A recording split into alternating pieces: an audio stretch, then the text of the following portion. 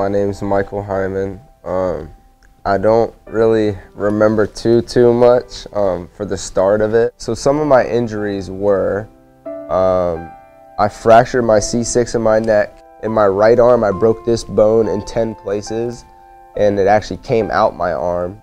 The bones did. So now I have a metal rod from my shoulder down to my elbow, and the nerves got stretched in this arm, so I actually cannot. I can't move my right arm so I don't have feeling in my hand. In my right knee, I tore my ACL, MCL, PCL, LCL, and my meniscus.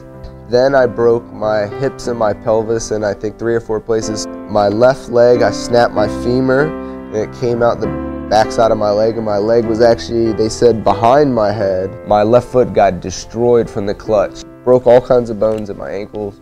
He had extensive injuries that none of us had really seen before on our unit. He basically had one good arm to work with. So Nick and I were at home. We just finished up dinner and it came across the TV screen, Reston Hospital. And I looked telephone. at him, the telephone, because the phone rang. And I said, who in the world is calling us from Reston Hospital? He said, don't answer it. And I said, well, So I'm thinking sales or something. I don't know. so I answered it, and it was him.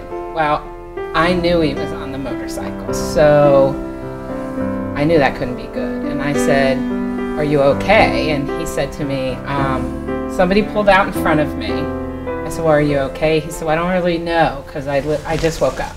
He's my little brother, so when I first found out about it and going through the whole entire thing, I just couldn't do anything but pray and try to stay positive for him because I didn't want him to see me being weak when I'm trying to be strong for him because he needed someone to be strong for him. It took a little while for me to realize how severe everything was. Um, I guess I didn't realize that it was going to be, they were telling me that it was going to be months before I was going to be able to walk, and that was just something that I wasn't going to accept. And I was always the one that took the night shift. So I was always the one who could go without any sleep and sleep wherever I could fall asleep sitting straight up if I had to. I guess after the surgeries, I was at Reston Hospital for three weeks or so, and then I didn't need as much care, um, you know, the hourly care, so I was able to go home into a hospital bed and stay there. and he drove me crazy. he has this little whistle that he does anytime he wants something. Anyone come didn't know what he wanted, whether it was a blanket, a snack, a drink, a phone, a movie, anything. He just always wanted something. So I would sit up with him and just talk with him and try to help him through, keep his mind off of certain things. And then I had to come back and get my external fixator um, removed. And then that day, Darren came in the room and said, All right, you're going to have to walk today. And my feet haven't been on the ground in a month and a half, two months. So it was kind of, I was kind of nervous. So he helped stand me up, and I took one or two, three steps. And he was like, All right, you're ready to go to rehab. Another thing that I noticed about uh, Michael was the constant stream of visitors and loved ones that came in just to say hey, just to hang out. Uh, whenever we went to go work with Michael for physical therapy, we usually had three or four different people people that were in there just hanging out and that just spoke volumes to me that he attracted these people that would come out of the way i don't know where they came from but they came to visit michael the family posted his birthday video, I sobbed when I saw Michael walk. Like, I kid you not, I started crying. I'm gonna start crying again.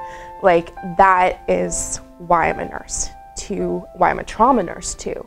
To see people go through such devastation and have them come out on the other side. being at Reston Hospital for about a month almost, you know, people don't realize, you know, you're staying at a hospital for a month, so the people that are taking care of you are almost like your new friends. And they actually were really great. Um, I would never have guessed that, you know, to be able to build like almost a friendship with the nurses or the techs or anything like that. So it was unbelievable. My thoughts on a hospital would never have been like, they're five star, taking care of you, everything. You need something done, Reston the hospital, they'll take care of it.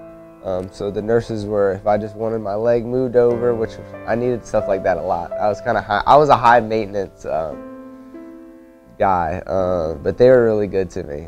I was asked to help out taking care of his um, ligamentous knee injury.